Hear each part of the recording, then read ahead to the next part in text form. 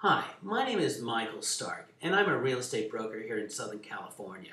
If you need help leasing up your property and finding tenants so that your real estate is an income producing property instead of being vacant, I hope that you would give me a call for a free consultation.